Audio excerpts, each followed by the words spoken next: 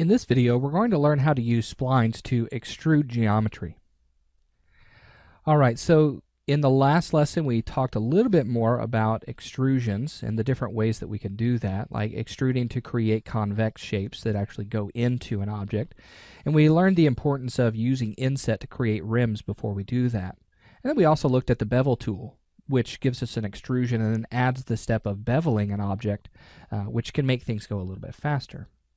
So now let's talk about extruding along spline because this can be very helpful to create things like wires or um, something like maybe even the legs of this drone here.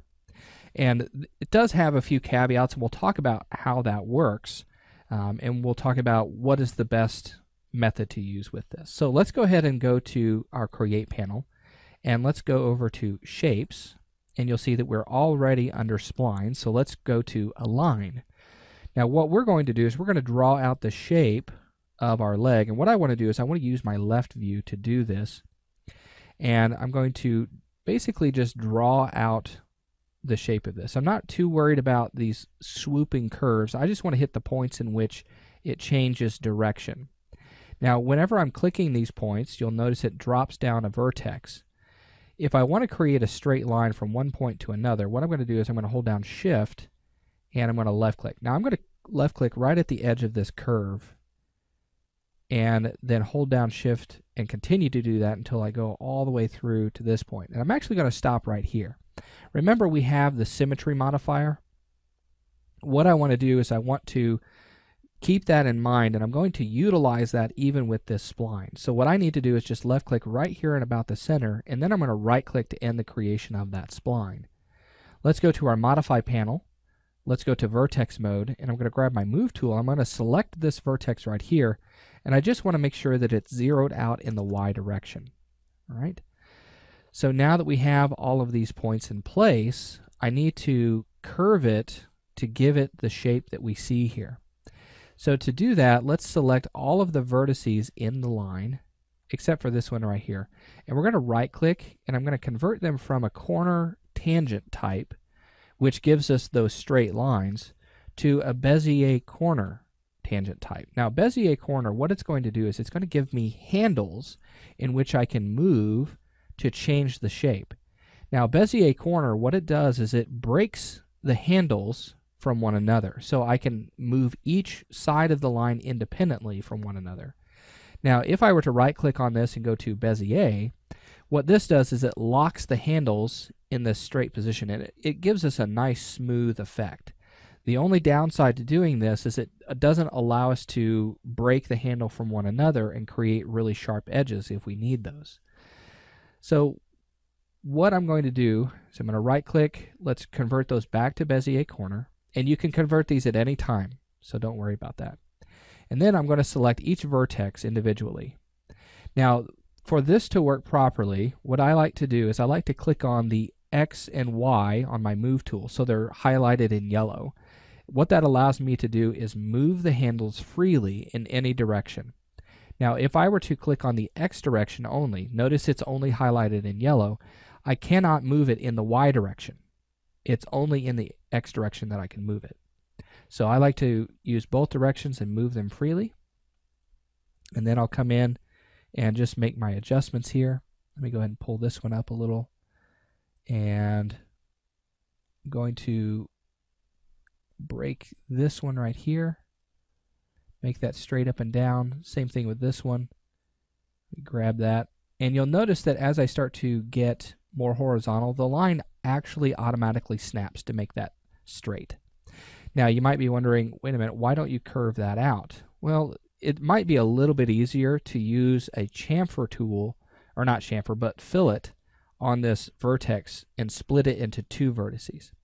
So the way I'm going to do this is by going down into the rollouts under geometry here, and you'll find this fillet tool. Now the way this works is you can left click on fillet and then left click and drag on the vertex and do it interactively, or what you could do is type in a value. Now you can type in the value, but once you set that value, it's done. So if I type in 1 on this, you'll notice that it reverts back to 0. and I can no longer use fillet on that vertex again. Now I could hit Control Z to undo and then go back. What I like to do is use the interactive. So I'm going to left click on this vertex and just drag that out until I get the curve that I want out of this. So I'm going to go to right about here. That feels good. And then I'm going to do the same thing with this one. I'm going to use fillet. Okay, so that's on. I'm going to left click and drag that out. It might be a little difficult to see, but hopefully that, that shows up there. So now I have this nice curve that is following along with that spline. Now we've only done this in the left view, so we want to make sure that we are moving things around in the front view as well. So let's go to our front view by hitting F. And we need to turn off vertex mode and put this into position over here. Now what I want to do is I want to make sure it's centered up on this piece right here. So right now I have the X axis locked here. So I'm going to come in a little bit closer and I'm going to get that as close as I can. There we go. Now I'm also going to hit P on the keyboard just to check to make sure that that's right in the center there and it appears to be a little off so let's click on the Y value or the Y axis and then come up here, get in close to that, and then I'm just going to left click and drag that. And it doesn't appear to be moving. Try that. Try grabbing the handle. It should move the, the line, but it's not doing it. That's fine. All right, so there we have that really close. That's in position. Uh, let's go back to our front view by hitting F. And then I'm going to go to vertex mode and I need to pull these vertices into position here. So I'm going to take all of these and I'm going to pull those to the left. And that should really all I uh, should really be the only thing I need to do except for maybe this vertex right here.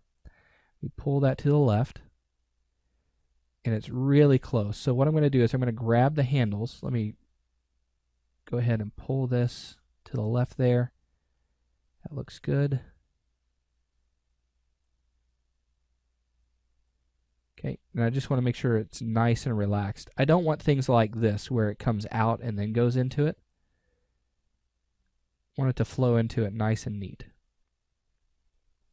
All right, that feels good. So now that we have that spline in place, what do we do with it? How do we get the geometry? Well, what we would do is we would use the extrude along spline. Now, I know that there was a lot of setup to this, but the extrusion part is really easy.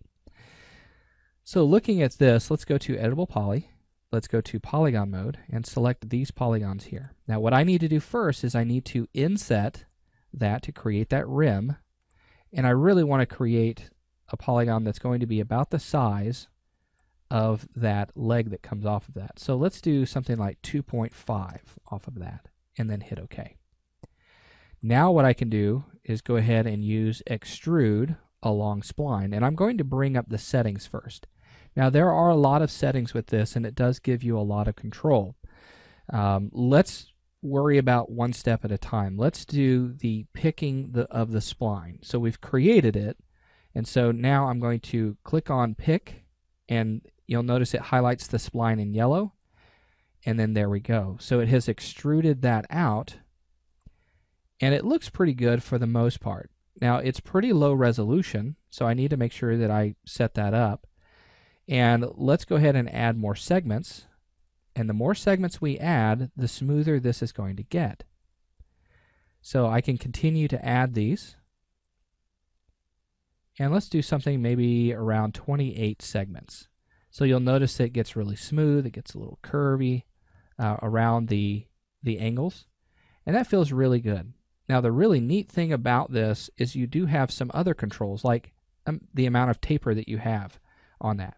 Now in this case, it's not really the best thing unless you have that in your design, uh, but I do want to let you know that you do have that availability.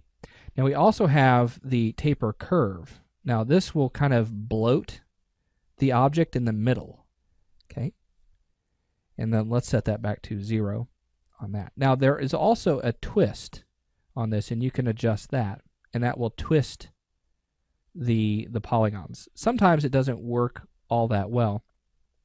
and then sometimes it's based on this value right here. This is going to ask us if we want to extrude along the spline in the world space or along the actual spline itself. In my case, I want to do it along the spline, so it's left our value there. Let's take our twist to zero. Let's leave everything else as zero and then just simply hit OK.